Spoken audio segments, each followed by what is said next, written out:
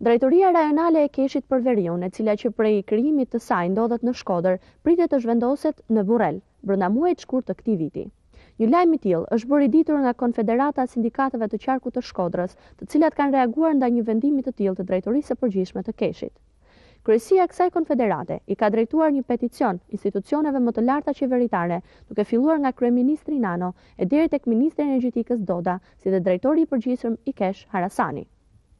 Sipas sindikalistëve, largimi i kësaj drejtorie nga Shkodra, e cila prodhon nëntëdhjetë e pesë për qind të energjisë në vend, do të bënte që dyqind e pesëdhjetë specialistë shkodranë të energjetikës të mbeten pa punë. Konfederata e Sindikatave Prefekturë Shkodër, si edhe Federata Sindikale Energjitikë Shkodër, kundërshtojnë me forcë këtë vendim për këto arsye. Një, është në kundërshtim të plotë me pretendimet e kryeministrit Nano, për të fuqizuar dhe zhvilluar Shkodrën.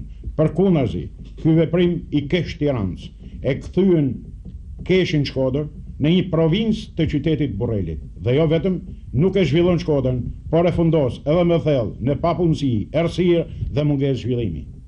dy. Shkodra ka qenë dhe kështu do të jetë, realisht, kryeqendra e veriut, por dhe kryeqendra e prodhimit energjetik për gjithë Shqipërinë.